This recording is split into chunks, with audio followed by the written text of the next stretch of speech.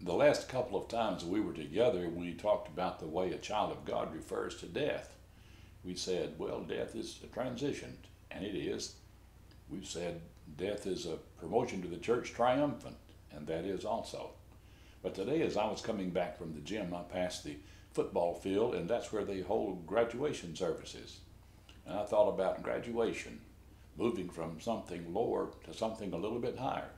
Well, that's what death is.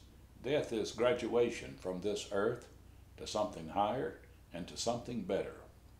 You see, graduation day is not a very bad day. As a matter of fact, it's a good day, a day of rejoicing.